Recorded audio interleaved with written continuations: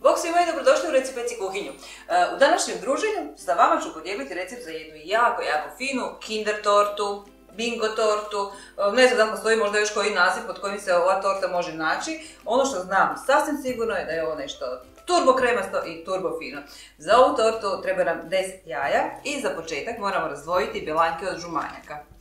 E, Znači od bjelanjaka i šećera radimo koru, od žumanjaka i još nekih dodatnih sastojaka radit ćemo jednu bogatu, bogatu kremu. E sad, kad smo razdvojili sve e, bilanjke od žumanjaka, bilanjke ćemo staviti miksati. E, moraju se umiksati u pot- ono, potpuno čvrsti snijeg i tek kada se umiksa u snijeg, onda se dodaje šećer i miksa se tako do kraja, tako dugo dok se taj šećer onako prilično ne otopi, a to ćete skužiti po tome što će masa postati onako e, jako čvrsta i fino sjajna. Sada kada se e, snijeg e, umiksao i postao potpuno čvrst i sjajan, evo vidite i sami kako bi to trebalo izgledati, e, vrijeme je da stavimo našu koru na pečenje. A kako bismo ovom kolaču dali još jednu onako posebnu šusku i jako, jako fini jedan personalni touch. Idemo dodati na dno ispod kore 4-5 žlica čokoladnih mislija, znači što krckaviji budu, da što više onog crunchy efekta, to bolje. Naravno da možete i bez ovoga, ali evo, meni je ovaj kolač puno, puno draži na ovaj način. E, također možete recimo rasporediti e, tostirane lješnjake, onako malo krupnije samljevene, e, to isto bude ok. Ali evo, ako spremate ovu tortu za nekakve dječje rođendane, a općenito klinci baš ne vole jesti tako da neke krckave stvari, onda jednostavno ovo izostavite, pa ispecite koru najobičniju bez ovih krckavih dodataka. Znači sve ovo krckavo ovako rasporedimo po e, cijeloj površini. To je to. E, treba nam lim nekakve, ah, uvijek obično kažem srednje veličine. E, ovaj lim je nešto veći od onih standardnih limova u kojima najčešće radim biskvitne kolače. E, nisam sa stvarno mjerila koliko bi ovo bilo, pa evo sigurno nekakvih 30 sa možda jedno 35 40 centi veličine, znači malkice veći od onog standardnog. A opet ne smije biti preveliki onaj lim iz pečnice jer će onda kora biti pretanka. Znači preko sada ovog sloja rasporedimo ovaj čvrsti, čvrsti e, snijeg od bilanjaka sa šećerom. Ima ga stvarno dosta jer evo, ipak se radi o e, 10 jaja. E, Rasporedite znači ovaj e, sloj na što više ovako hrpica kako biste što lakše rasporedili ovo po ovome limu. Znači, ovaj snijeg moramo sad dobro ovako utisnuti u stvari. Najlakše ćete ovo napraviti ako utiskavate sa žlicom. E, pogotovo ako ste radili ovako koji ja sa ovim mislima dolje na dnu, e, onda se to voli onako se povlačiti za ovim snijegom. Najlakše vam je evo na ovaj način ovako utiskivati i tako rasporediti. E, možda vam se čini ovako na prvu, ovo je stvarno puna ova, puna ova tepsija ovog snijega. E, normalno da ga je toliko i nemojte da vas to brine jer e, on će se pečenjem sad još malo onako možda i napuhnuti, e, ali čim mi njega budemo izvadili iz pečnice, ova kora će skroz onako splasnuti što je ok i tako treba biti. Znači što više snijega to bolje.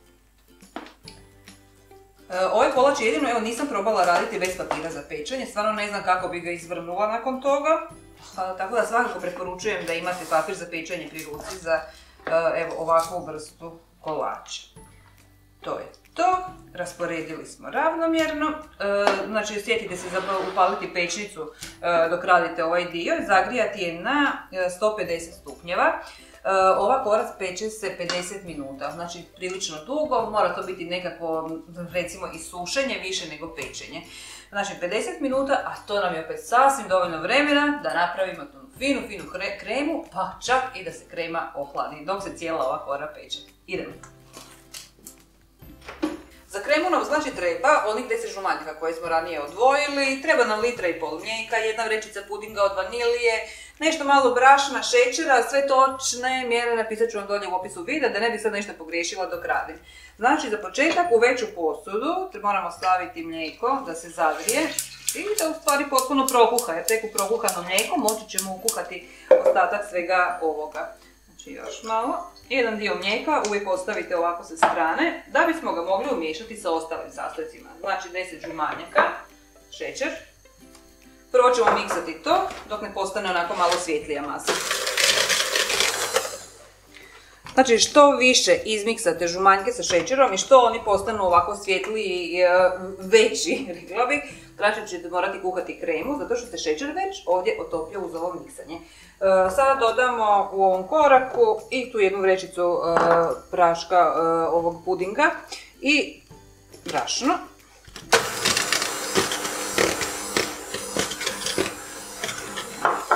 I naravno na izvijence ostatak mlijeka.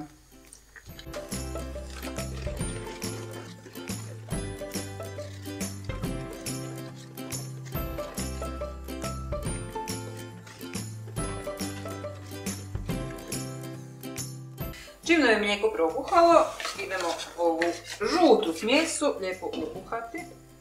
Uz miješanje naravno.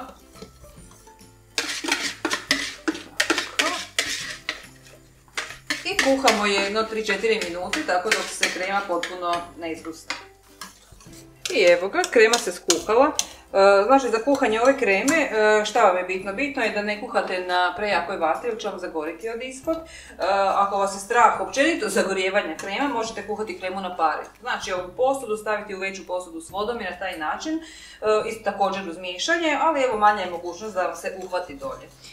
Krema sada kada se skuhala, moramo je potpuno ohladiti, znači na stopnu temperaturu, možete hladiti uz povremeno miješanje kako se gore ne bi napravila korica, a možete je prebaciti u neku plastičnu posudu i prekriti fino sa e, prozirnom folijom.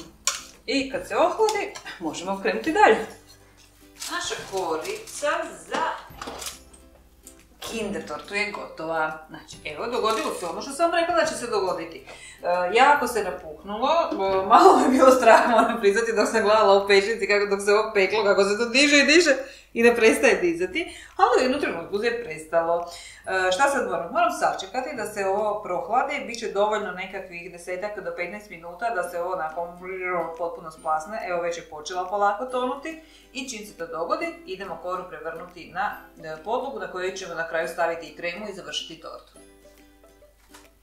E, evo ga, možemo polako završiti ovaj kolač, znači kremica se ovdje ovako lijepo, lijepo ohladila na tu nekakvu sobnu temperaturu, još uvijek ona nije dovoljno čvrsta, e, ali ne mora biti, još je nismo dodali e, ono što će učiniti baš onako savršenom, a to nešto je 200 g maslaca koji sam ostavila vani, znači na sobnoj temperaturi, da postane onako pa fino maziv i nešto malo šećera u prahu, znači to. E, šta ćemo sad napraviti? E, sad ćemo, sad ćemo, sad ćemo izraditi ovaj maslac sa šećerom u prahu, znači mikserom. E, miksati tako dugo dok ne postane onako fino kremasto. E, to vam inače zna jako prskati, znači ako maslac niste dovoljno ostavili na sobnoj temperaturi ako to idete odmah raditi ovako sa metlicama, moglo bi biti nereda svuda okolo, pripremite se na to. Znači pa prvo na najmanjoj mogućoj ovoj brzini, pa tek onda malo se ga praši se. I ok, sad moramo ovu prohlađenu kremu dodati ovom maslacu sa, šećerom i lijepo sve sjediniti. Znači za početak dodati jedno, tri ovako veće žlice kreme e, kako bi se sve to ljepše i lakše spojilo sa ovim maslacem, pa onda na kraju dodati i ostalo pa sve skupa dobro, dobro izraditi. Sada ćemo podijeliti ovu ovako lijepo sjedinjenu e, glatku kremu na dva potpuno jednaka dijela. Znači, treba vam još jedna posuda. Znači, pregraviti. A uskoro ćete vidjeti zašto. Nije se krema još do kraja stvrdnula, e, ali bude se ona stajanjem onako malo još učvrsnula, e, pa ćete bez problema moći rezati.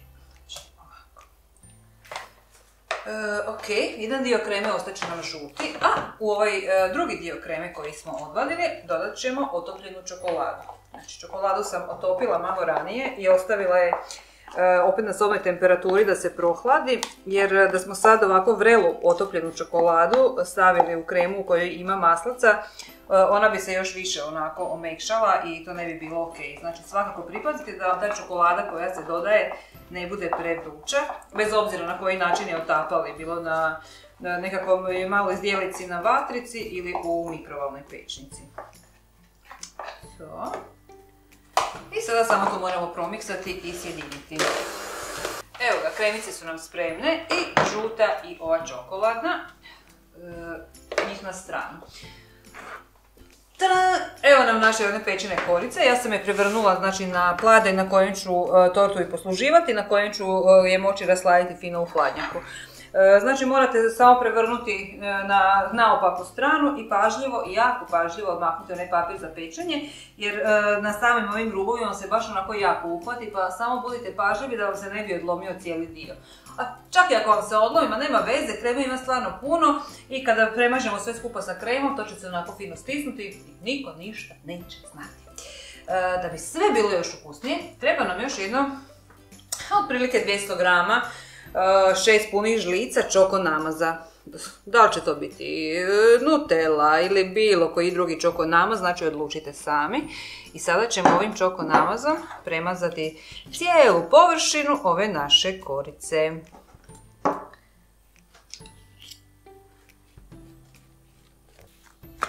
I evo ga, sada smo spremni za kremu. Znači čoko namaz ne treba. E, sada lijepo u hrpicama slažemo na izmjenice žutu i ovu e, čokoladnu smeđu kremu. Znači,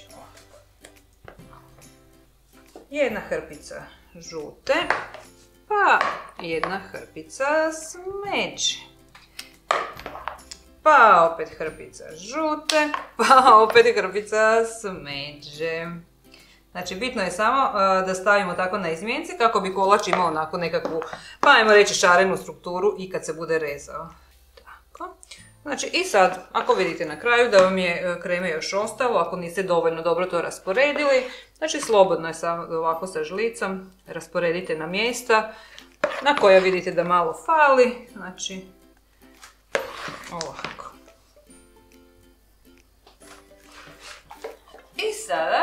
Smo svu ovu kremu ovako rasporedili, e, ovo je bilo prilično onako neuredno, priznaćete. E, ovo je kolač koji ja volim ostaviti ovako kakav je, a da bi sve bilo još bolje, na redu je drugi sloj čokolade. Znači, otopila sam čokoladu sa malo maslaca i nešto malo mlijeka.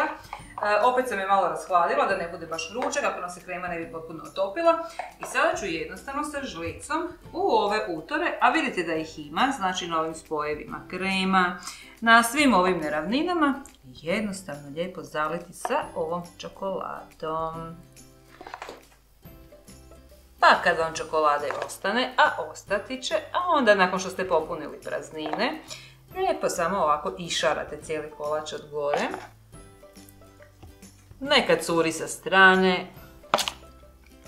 Ovo je jedna fešta od čokolade i od kreme i to je, dragi moji, to ovaj kolač je sad spreman da se potpuno ohladi. Znači najmanje jedno dva sata u hladnjaku mora biti, a bilo bi idealno stvari da ostoji cijelu noć, ne znam, napravite ga navečer, kasno popodne pa ga stavite lijepo u hladnjak i sljedeći dan je ko bončić, onako fino, fino za rezanje sa čvrstom kremom, stvarno će se ona e, lijepo stvrdnuti.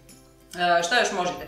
Možete izmiksati slatko vrhnje, jednu učvrsti šlag, pa premazati sve lijepo od gore. E, ako želite, naravno. Meni je čisto ok i bez toga. Znači možete ovo napraviti u e, velikoj okruglom limu za torte, 28 cm promjera najmanje pa ćete imati nekakvu okruglastu tortu, znači poigrajte se malo, napravite sami svoju kinder, bingo, dječju, nazovite kako god hoćete, napravite što prije, ovo je nešto najkremastije i nešto najfinije što ćete probati, sigurna sam u to. Budite uz Reci Peci neki sljedeći put, pretplatite se naravno na naš kanal i vidimo se tada. Bog svima!